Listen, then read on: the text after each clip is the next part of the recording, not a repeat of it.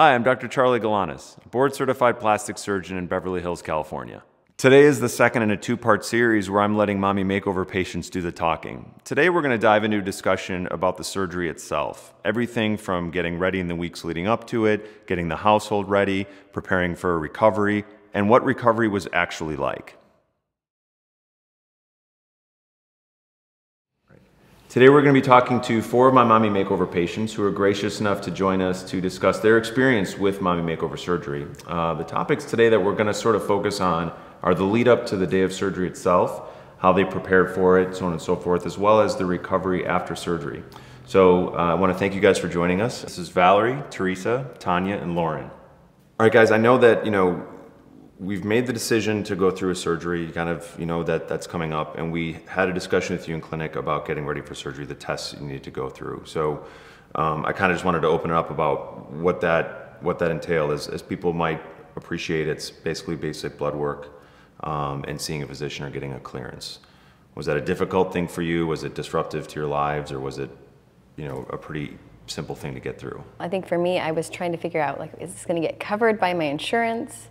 Or is it something that I'm gonna have to pay out of pocket? And trying to get an answer for that from my healthcare provider was a pain. Yeah. And then it, they ended up just covering it. And I think a lot of that has to do with, you know, sometimes what they can incorporate that to is a wellness check. Right. Or sort of an, an annual physical, and that would be covered by insurance. And sometimes people will use that as their wellness check prior to going through a surgery. Right. Um, if you had already had one, then it may be a little bit tricky, and obviously there's going to be some variability with insurance. But I don't know, Teresa, did you have a different experience with it, or?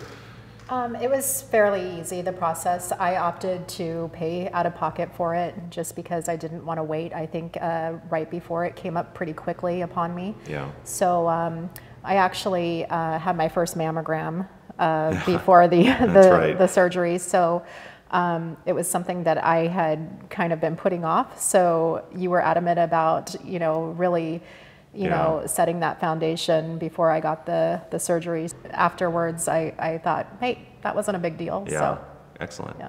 You know, approaching 40 or in their 40s or people that are kind of in the guidelines for when they need their screening, it's really important to get that done before going through with an operation because, you know, God forbid we have the operation, then we find something, and then you have to have another procedure. So I'm glad that worked out for you. And yeah, and it was totally easy. Yeah. And Tanya, what about you? For me, it was kind of the same as Valerie. I tried to figure it out if my insurance covers it. I had to pay on my own. Yeah. So, yeah. but that was, I think that was the easiest part. Out of everything, it was the easiest. Um, I was told to maybe just go to urgent care, which I did. Kept it super simple. Went yeah. to like my local urgent care around the house, and I it was really easy. Um, you know what I what I tell people: all surgeries, safety is the first priority, and the first step in that is before going into an operating room is making sure that there's no other issues we need to address. And that's kind of what the point of all that blood work, the urine tests and things that we do beforehand. But what about getting ready for that day? You guys have families, you have kids, you have jobs, you have obligations and responsibilities. And I, I think I have to confess, I think as surgeons, we just sort of, we're thinking this is the date you're gonna have surgery.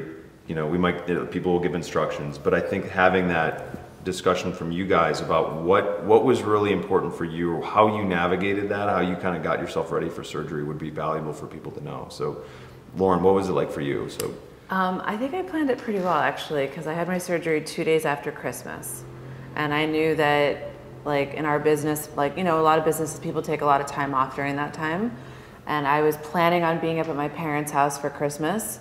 Left the kids there for four days, I think, after my, you know, I had four days, the surgery, and then three days after without them. I wish I had longer, but that's just the way it worked out. Mm-hmm. But I was able to take off some work, you know, time off work at that time and plan to, you know, be home with just my husband to help take care of me. I couldn't afford to, uh, you know, obviously I need to take time off work, but to have a nanny or a babysitter help me and then have the kids physically in my house. I wanted them to be out right. of the house. I didn't want them to see mommy like that. Yeah. I didn't want to have to like, you know, I'm the, like most moms want to do more for, you know, people in the house. I wanted to just like be alone and not have to think about it. Got so it. that was important for me. Yeah. Um, like I said, three days was good. I wish I had a little bit more. Didn't know how to anticipate that, which yeah. is why this is really good. You know, right. you don't, and everyone's experience is going to be different, of course. Tanya, what about you? Well, for me, I had to really plan it. We don't have family here. Yeah. So I had to um, my husband has to take time off from work and he take care of me. But first, the first two days, I went to this place you told me about Right, it. a recovery so center, yeah. I went there for two two days, 2 Mm-hmm. nights, something like that. Then after that, I went home, and my husband took care of me and. And you know, and as Lauren mentioned, everyone's experience is different. One of the things you, you pointed out, there are recovery centers that some patients will Yeah. utilize to spend a day or two at. You know, they're essentially like kind of like a hotel with nurses, Yeah. basically. So, you know, whether for a lot of patients who are out of town patients or patients who maybe don't have as much support, you know, locally, that's a, that's a great option. What about you, Teresa? How's it for you? Well, I planned my surgery the week after my son got out for summer vacation. Okay. so that I, I knew that I wasn't going to be able to drive him to school every day. Yeah. I'm a single parent, so I knew that um, some of the activities that I had to do daily, you know, in regards to getting up and, and getting the day started wouldn't, with school, wouldn't happen Right. if, if I was in a recovery mode. So um, I actually, um, I did buy a recliner Yeah. uh, that lifted me up into a standing position. Wow. And I did have a walker on hand in case uh, to get around the house. Yeah.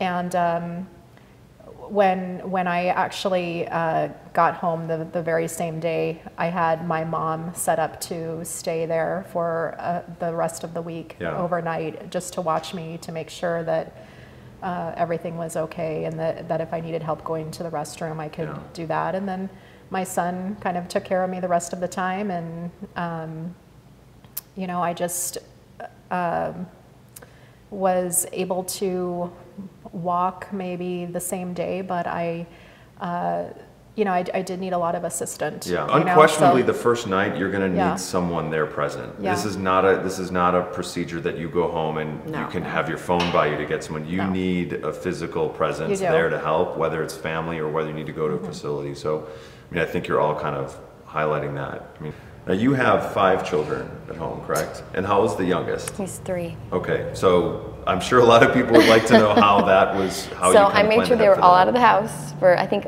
48 hours. I, I knew that I just wanted. I didn't want any noise. I didn't want any extra stress. Yeah. And that was really helpful. Um, and then I had my sister-in-law come Okay. and just stay for the week. Yeah. and that was super helpful. And I think she realized more than I did how much I thought she was just going to be taking care of the kids. I thought I would be okay, just in my room with all my things. Yeah. And I needed her a lot more than I, I Yeah. thought. And so I'm glad that she knew and had the foresight to I- yeah, be there I- to help me because I needed more help than I thought. And sorry to interrupt. I think that one thing too that I'm picking up, in addition to, to having people around, you know, one of the other things too that we talk about is getting the layout as as set up as you can before yeah. the day of surgery. Try to make it a one one story situation as much as possible. People that have multi story homes plan on just being on one story for a little while, having the the things you like to read or watch, having food and drink available. So, ha, you know, some people choosing to get it at the chair. I Like think the getting, is an yeah, awesome- getting those bit better. things sort of ahead of time is, is key. We've talked about the lead up going to surgery, how you kind of get ready for it. You know, touched a little bit on what happened after surgery. I kind of want to get a sense of your mindset the day of surgery, or what the process was the actual day of surgery, both before and then when you woke up. Um, everyone's, I can tell you from my experience, everyone's everyone's experience is very different. So, you know, we have four different people, four different experiences. What was, what can you remember from the day of? Kind of from the moment you kind of woke up, what, what that was like before surgery? Obviously, you don't have a memory of during surgery, but then and, Right. and after. Um, it was pretty. It was pretty smooth. I was, I was pretty tired. I don't remember like getting home necessarily. You know, I was pretty out of it the rest of the day. Yeah. But I was I was functional, but like I couldn't like keep my eyes open and like have a conversation with people. Do you remember what your mindset was before? Do you remember being in the waiting calm. room? I was, I was pretty calm. I was. I mean, I was a little bit anxious, but I felt like calm overall. Anesthesiologist was really great. And Surgeon wasn't bad too, hopefully. Yeah, it was. Teresa, what about you? How was your, what's your memory of your day of? Well, I was definitely nervous, Yeah. but um, I think right when I got to your office, I was there before you. So, Yeah. and I was like 100% sure at that moment that, that I was doing the right thing. It's great. And uh, so it took a little bit of the edge off. Yeah. Just kind of having um, someone tell me exactly what to do. Right, yeah, so that that I didn't feel just out there. Yeah.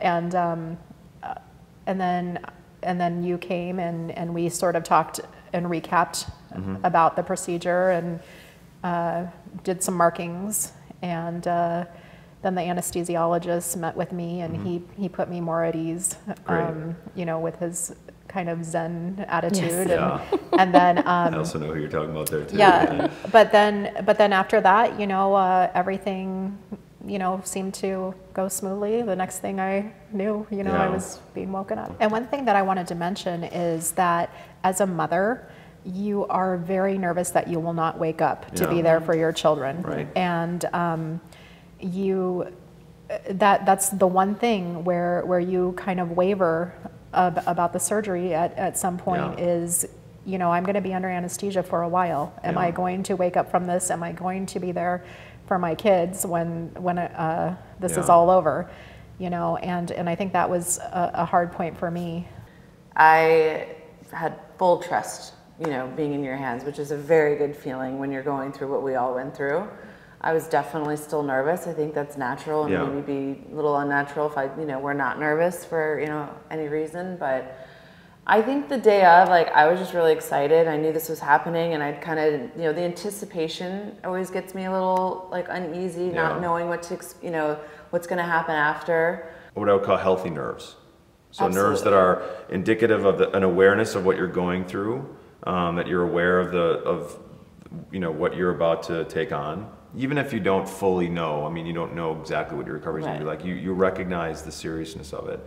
Things you wish you had known about beforehand. You know, in terms of the you know surgery, you had surgery, you thought you had everything laid out, and aside from maybe wishing you had more time or having more help, is there anything else that you're like, God, in that first 48 hours, I needed this, and I didn't, and I didn't think about it. Lauren, I can see you're just itching on this Well, because I did not expect um, that I would have such a reaction from the anesthesia. Mm-hmm. I don't know if, what would have changed if someone warned me of that. Yeah. I still would have done the surgery. Right. It still would have sucked Yeah. that first 24 hours. But maybe having that medication you gave me, at the, you know, whatever that was. The nausea medicine Yeah, which try. was amazing. Yeah. And that's you know across all surgeries, I would say that's something that as surgeons we we deal with, and we work kind of in conjunction with anesthesia because it's not not the anesthesiologist's fault, but it has to do with the drugs the anesthesia is administering during surgery, and these, those do stay in the system for about 24 hours. And a lot of people they'll feel a little bit nauseous, and then when they get that first dose of pain medicine, that kind of puts them over the edge. I knew you told me I was going to have to sleep sitting up and doing everything in this position, but it took me a minute to get comfortable. Right. What I think I tell patients now is imagine before surgery what you're going to need to be able to be flexed in bed. Do you have enough pillows? Do you have the right kind of pillows? Go try it. Is it comfortable now doing it that way? Because if it hurts now, it's not going to be comfortable after. Absolutely.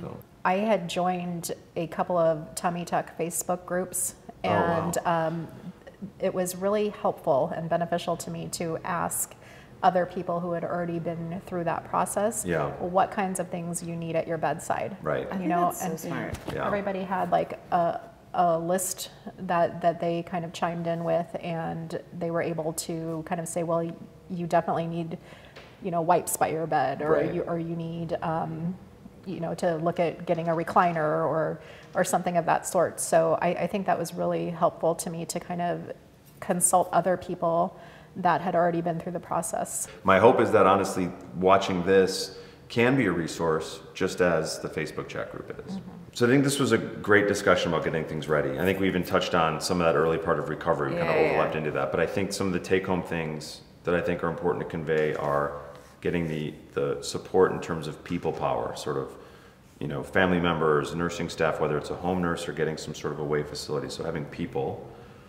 sort of setting up your home in terms of making things easier, easy to get to, being able to navigate the home, having things like pillows or having the right kind of chairs if that's thing, something that you're going to want, and just preparing for things that you might not think you need to think about, but preparing on how to how am I going to be in a flex position? How that how am I going to do that with what I have at home? So I think those are kind of some of the take-home points to take from this. Typically at one week post-op for uh, patients who are having mommy makeover surgery, whether it's abdomen and breast, if they have drains, a lot of times those drains may be coming out at a week. That would be the earliest generally they come out. I, that's when I start to talk to patients about working on their posture a little bit, gradually starting to, to stand upright, depending on kind of how they're feeling. Otherwise, things kind of stay status quo that first week. People are still kind of feeling it. At two weeks is when I, if the drains are still in, they come out. There are some sutures around the belly button we typically take out. Really working again on the posture, getting people to stand upright and making sure that when they're walking, they're standing upright. Um, and then again, just waiting. A lot of times they're still compression aware, and the next checkup isn't going to be until about six weeks post op. There's a big difference in how people look from one to two weeks, and certainly from one to six weeks, it's night and day. That one to two week period, let's talk about that. So, what was going at from one to two weeks? How did that feel? How did that? What did that look like for you? It felt so much better than the first week. Okay, it's a start. Just being able to stand up, to be like given permission to stand up straight, was relieving because my back hurts so bad from being. So bad. Yeah, and that's actually very Yeah. common. I, I tell patients a lot of times the pain you're going to be feeling back, at one week is going to be more the back than Yes. the incision. One hundred percent. And once you're able to stand up straight, that'll get that'll f- kind of fix Yeah, itself so right that was up. nice. And I just kind of gradually went back to my regular routine. Yeah. I just kept it, I kept like the mornings where I, when the kids were in school, I didn't really do anything. You know, I sat around most of the time. But Mm-hmm. then when they were home from school, I did my regular thing, made dinner, helped them with their stuff, took them around to things. And so I gradually got back into my regular. Do you remember your pain requirement, pain medicine requirement between one and two weeks? Were you taking much? I don't think I was taking much on the second. Okay. I think I was taking like ibuprofen and Tylenol. I think after, right after the second week mark, I had gotten the drains removed, and to be honest, that was sort of the game changer. Yeah. That was the the uh, line in the sand where I started to feel immediately a little bit better. Mm-hmm. Um, I just felt more mobile. Yeah. I felt more independent after those were taken out, and and a lot less in pain Yeah. with those out. Um, and I remember that right after this, that second week mark where I had the drains taken out, I did go to a, my Fourth of July parade. Yeah. Was that kind of was two week a mark for you? Massive. Yeah. In the drains. I mean, everything you said, I agreed 100%. Like the line in the sand. I felt like they were kind of debilitating. They were kind of in the way and just a nuisance and uncomfortable. And trying to get in and out of that um, Garment with garment. yeah, yeah. with the drains. Like with the drains and putting them through. I remember them pulling, and I just Yeah. didn't like them. I didn't like them. Why would anyone like them? But Yeah. but uh, you know, we've we've all like had our experiences with that, and, and I could not wait to get those out. I felt so much better. Some people struggle a little bit more. Maybe there's other factors, but I think all people, if you all comers, by two weeks, I'm not saying they're done with recovery by any stretch of the imagination, but they're back to kind of feeling like themselves a little bit again, or there's that light at the end of the tunnel. Like, And- okay, now I'm starting to feel that joy, like you were just saying. Like Yeah. Yes. first you're like, yeah, I put myself through. Right. Yes. But it is so worth it. Yeah. I mean, I, we all, I'm sure, are sitting here, like, we're definitely talking about the, the challenges, and there were plenty of them, but man, it was worth every bit of that. And I, but I think these challenges are important. It's part of the reason Yeah. we're having this because it's really easy to find how great it is if you look at reviews Yeah. or if you look at testimonials. You can find plen- plenty of evidence of how worth it it is. But people need to see the part that comes before that. Totally. So what I tell people at six weeks, what's cha- what's changed from two weeks? By six weeks, if you're wearing a compression garment, you're ready to ditch it, or you're pretty close to getting rid of that. If you're if you're feeling up to it, you're ready to start slowly reintroducing some activity. When you get closer to eight weeks, then you can really be more aggressive in terms of exercise type activity. Um, you know, those are those are some of the things that that we kind of are transitioning to at that six week mark. So what was your what was your six week kind of like for you? I felt pretty much back to normal. I Yeah. felt like I, I was back to work. I felt like I could, And you're a nurse, right? Mm-hmm. And your job, does it, are there a lot of kind of physical demands with what you're doing? yeah, we're moving You gotta patients. move and- patients and whatnot, okay. So feeling back to normal at six weeks. Do you remember your six weeks? Yeah. How was it? I feel better. Yeah. I can do more more things. You were smiling. You were back to talking about beach vacations yes. at six weeks. Yes. There wasn't a lot of talk about beach Yes. vacations at one and two weeks, but at six weeks you were back yes. to talking yeah. about it. After s- yeah. Yeah. Yeah, yeah, I remember. I feel so happy. I'm ready to do things more, you know, more me. You Yeah, know. yeah. And I start shopping around, and you know, I just feel, you know, amazing. Yeah. Yeah, I started working out at six weeks. Yeah, I I know. remember. But I remember feeling really good and really excited to feel really engaged with my core again. Like I can't say that enough to people. Like Yeah. Yeah. that was huge for me. And at six weeks you were kind of finally Yeah, I it felt back. really good. You know, we talk about three months as the first time that we are looking at a result. The reality of it is that's not entirely true because things continue to evolve well past three months. Um, but it still is the first kind of real snapshot or, of like, okay, this is where we are right now, and we're, we're, we're really close. Um, I tell a lot of people, as you know, we just discussed with you, revisions sometimes are necessary in, in small areas. Sometimes scarring is, people scar a certain way, sometimes incisions can migrate. I generally don't do anything at three months. I generally wait until at least six months and sometimes 12 because those scars do remodel over that period of time. Yeah. So there's nothing when I'm seeing you guys at three months that I expect to be different in terms of the way you feel because usually this, the difference between six months or six weeks and three months, it's not that different from, from what people tell me about how they feel. The result is look is, is continuing to evolve and you can see a difference. Um, but that's my first time to kind of look and see, okay, where are we? So the three month visit is, I guess what I'm saying is more my visit. Right. It's my chance to check in with you guys. It's not because you need anything from me at that point. Then I, I try to check in with you guys again at six months and then 12 months. And then I, I, I like to keep following people after that. I do remember though that the three month like I like getting your feedback on yeah the scar is looking like where it should be. Right. This is where it should be, and that's Yeah. always comforting to know Yeah. because it's not like I was ever concerned. Right. But you know, I just like to get that feedback from you, so that's always positive. But I remember not like feeling uh, not feeling a huge difference in, Yeah. in the six mo- six weeks to three months. We do have a discussion about scarring at that point and plus or minus if there's anything we need to touch up. And what I tell people three months is usually when the scar is going to be its darkest. And after that point, it shouldn't get any darker than that. It should get lighter, if anything. It may stay the same for some people. Some people just, they scar thicker Right. or darker. I, I try to reassure people this is not what your scar is going to look like in the end, most likely, but this is appropriate for where you are at three months. I hope that video helped answer some of the questions you might have. If you have any more questions, don't hesitate to write them in the comments section below, over on our Instagram, or head over to my website, and myself or one of my team members will be happy to help you. If you enjoyed the video, give it a thumbs up. Please consider subscribing for more videos just like it. And until next time, have a great day. And remember, there's beauty in the before and the after.